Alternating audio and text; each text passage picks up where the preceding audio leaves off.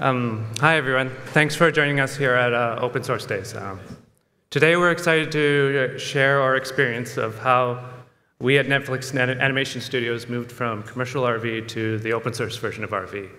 Um, today, we'll talk about the reasons why we made this change and some of the challenges we encountered along the way. Most of all, we would like to show how open source has created new possibilities for our team. Um, we hope our story gives you some useful insights whether you're considering making a similar transition yourself or whether you're just interested in how open source is making a difference in production environments like ours. Um, my name is Mark Reid, and I work in the production technology group at Netflix Animation Studios. I'm a senior TD in the imaging department, and my main focus is an initiative we call Creative Review. Um, this initiative is all about making our review uh, workflows better. Uh, yeah, and my name is Manuel Macha. I'm the supervising TD for imaging here at Netflix Animation Studios. In our imaging department, uh, we are responsible for developing, supporting, and maintaining uh, our studio's review ecosystem. And as you will see, uh, a lot of that work revolves around RV. Uh, so just uh, for anyone in this audience who hasn't used it before, RV is a high-performance media playback and review tool and it is built for VFX and animation pipelines, where users need frame-accurate playback of large image sequences and color-accurate review capabilities. RV actually started out in 2005, so it's a quite an old program as a closed source tool from a, a company called Tweak Software. And in 2014, it was bought uh, by Autodesk, uh, which acquired both Tweak Software and also another company called Shotgun Software. And after that, Autodesk uh, started offering RV together with Shotgun, which later became ShotGrid, and uh, now it's called Flow Production Tracking. In 2021, Autodesk open sourced RV and donated it to the Academy Software Foundation, where it became OpenRV. Uh, the commercial version of RV is still available today, bundled with Flow Production, production Tracking, and uh, at our studio, we've been uh, using the commercial version of RV for many years. But recently, we saw some strong advantages in moving to the open source version.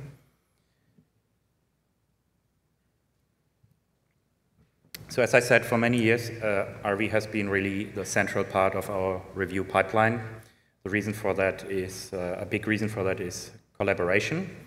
Uh, with RV's Sync plugin and live service, we can run fully synchronized remote review sessions across all our studio sites.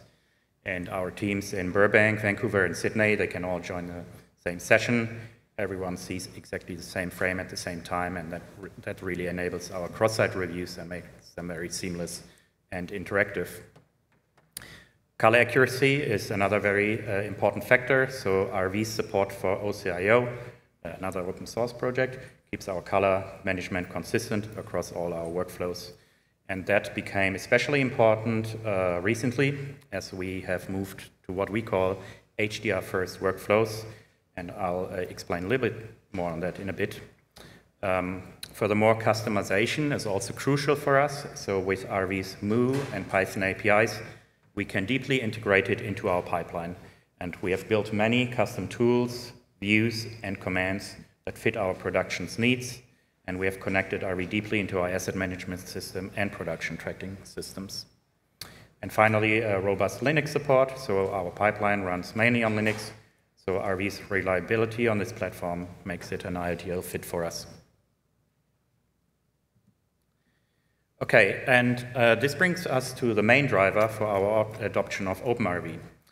Uh, so as I mentioned on the previous slide, we started a studio-wide initiative known as HDR First Workflows. And that aims at uh, letting our artists work in HDR natively as much as possible. But as we increasingly worked and reviewed more and more HDR media, we ran into a couple of problems. Um, so our creatives regularly noticed artifacts like color banding when using uh, uh, when reviewing HDR media using OCIO uh, version 1 in RV, making it very challenging to confidently approve work where color was critical. And uh, here's an example from our movie, The Magician's Elephant, um, which had a, um, a, large number of um, shots containing uh, stylized skies. And if you make an uh, animated movie, uh, it usually contains a large number of shots where you see the sky, and oftentimes they have HDR uh, characteristics. Uh, so you, I circled the sky there in, in the movie's po poster. And then uh, I'm going to show the artifacts, and I hope it's, it's uh, possible to see that on the screen there. So with OCIO V1, we would see this color banding uh, in many of our shots. And that really interrupted the review workflow where creatives were asking themselves, are these artifacts actually uh, in the image or not? Um, when we tried uh, viewing the same media in OCIO v2, those artifacts disappeared.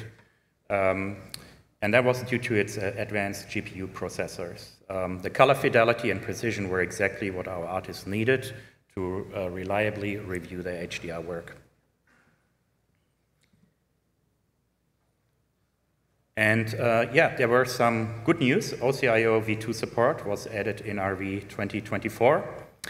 But the problem was that uh, RV 2024 also required Python 3.10. But uh, our pipeline at that time was still locked into the uh, calendar year 2022 VFX reference platform, hence we were running Python 3.9. So this put us in a really tough spot. We urgently needed the benefits of OCIO v2, but we couldn't upgrade RV with disrupting the rest of our pipeline. So we needed a solution that let us move forward with HDR without breaking everything else. And it was really at this point that uh, we started looking seriously at uh, OpenRV as a potential solution. Uh, OpenRV already included support for OCIO v2, but like RV 2024, it was also set up to run on Python 3.10. And that could be uh, like another big roadblock for us. But now that we had full source code access, we saw an opportunity. And after some investigations, we actually concluded that we could backport OpenRV to Python 3.9 ourselves, which would then let us uh, fit OpenRV right into our existing pipeline. And uh, when I'm saying we, um, I'm really referring to my co-presenter Mark here, who's been doing uh, a lot of the heavy lifting, and he'll be sharing uh, some of his main take takeaways. Thanks, man. Yeah. Um, so yeah, we decided to go forward with uh, OpenRV. Um, the biggest advantage to moving to OpenRV is um, having access to the source code. Um, while this gave us the ability to continue supporting Python 3.9 according to our needs, um, it also opened up a lot more possibilities.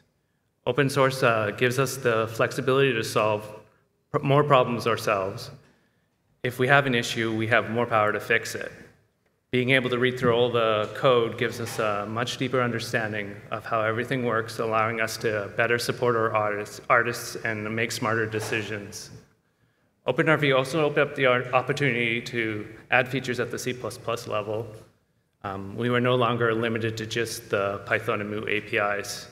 And, um, and most of all, um, because OpenRV is open source, we're able to give back our improvements to the community, um, which can help everybody and not just our studio. Um, all these new possibilities were great, um, but switching from RV to OpenRV brought us some real challenges. the first challenge was that the code base was very large RV's been around for a long time and has grown many features over the years. It relies on many third-party dependencies, and all these need to be built from source too. Um, integrating all this into our uh, build system was a challenge. Um, we use Rez, another open source project, um, part of the ASWF, um, for our package management system. And getting RV to work within our Rez container environment took a, a lot of effort. Um, RV is not trivial to build. It can take over 30 minutes to build from scratch. Um, and this has really tested our patience um, sometimes. Um, Backporting to Python 3.9 was the next challenge, but this actually turned out to be easier than expected. Most of it was handled by adjusting a few uh, CMake files and um, fixing some issues with some of the plugins like the OpenTimelineIO one. Um, we wanted to make sure we weren't losing any functionality by changing to OpenRV. Um, we rely heavily on Aja and Blackmagic cards for reviewing HDR content. Um, having support for these devices was critical. Um, the same goes for the flow production tracking plugins, a suite of tools available in commercial RV that many artists are familiar with. Um, when we began exploring OpenRV, none of these plugins were available, um, and this could have been a major uh, obstacle in our adoption. Um, fortunately, Autodesk released the plugins just in time before we started doing the migration, so um, big thank you to Autodesk for um, releasing those. Um, maintaining our own internal changes was another hurdle we had to consider. Because we were planning on maintaining our own internal fork of our OpenRV, we tried to be very mindful of the changes we made. In general, we tried to avoid changes that we can't contribute back to the main project. Um, by sharing our improvements, we reduce the number of patches we need, need to maintain ourselves in the long run. Um, we also recommend uh, to um, frequent rebasing of your um, your own personal of your of your fork against the main project. Um,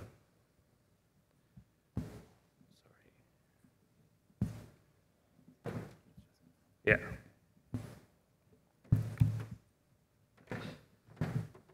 Yeah. Oh, this is yours. Um, yeah, so how did these changes impact our users?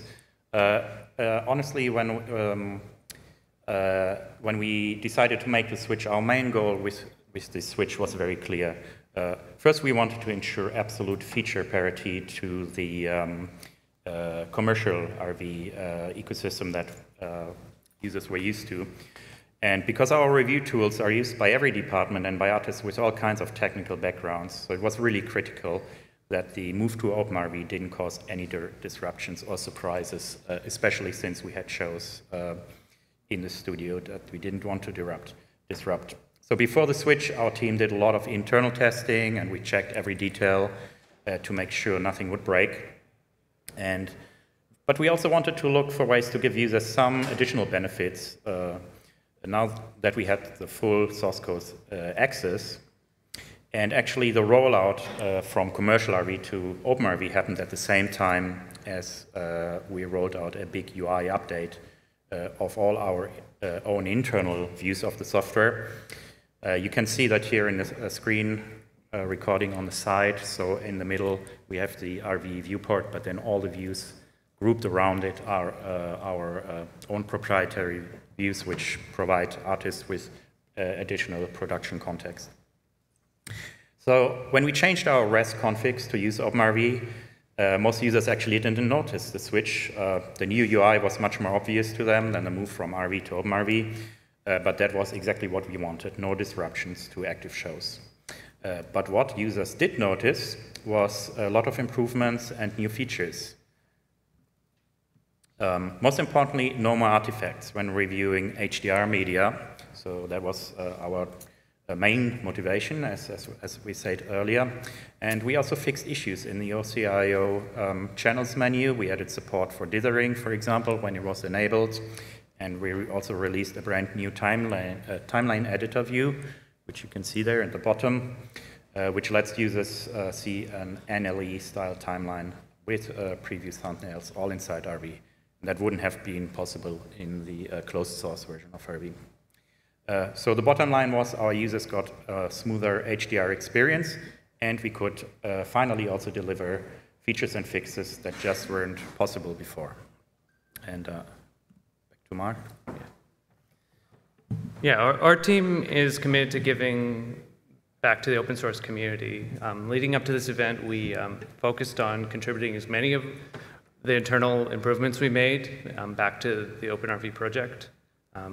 Our fixes for the OCIO channel menus have already been merged, and so has that the dithering support we were talking about. Um, Also, as part of our HDR First initiative, we've contributed back various HDR transfer functions and some um, RGB to YUV conversions needed for Rec 2020. Um, we also contribute the, our um, things for controlling presentation mode um, that make it easier to use. And we, we've got a lot more things we've been working on that we're hoping to contribute back to. Um, we've also like we developed two major plugins with open source in mind. One is the timeline editor um, that Manuel was talking about, and the second is a live streaming plugin. Um, it's a custom output plugin capable of streaming color accurate HDR video directly out of RV. Um, these plugins aren't open source just yet, but we hope to be able to release them in the future. Um, if you want to learn more about these, I'll, I'll be sharing more about them in tomorrow's Open RV's Birds of a Feather. Okay, and um, yeah, lastly, uh, before we wrap it up, we just want to highlight a few things uh, you might find interesting. So first uh, of all, uh, we did mention these HDR uh, first workflows, which have become very important for our studio. So if you want to find out more about those, uh, consider joining us for our talk, Blinded by the Light, a case study of HDR integration animation production.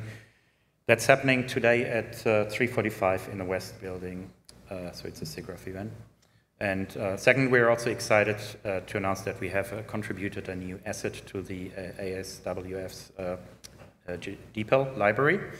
So we have released Soulmates, which is a set of heavy production scale EXR sequences uh, coming uh, with both HDR and SDR media. And that's perfect if you want to stress test media playback tools like OpenRV. It's a really good resource. And lastly, uh, we're hiring. So if you uh, find, found our presentation interesting and uh, could consider joining our team, just see us in the break. Um, and that's it. Thanks for joining us today, and we really appreciate your time and interest.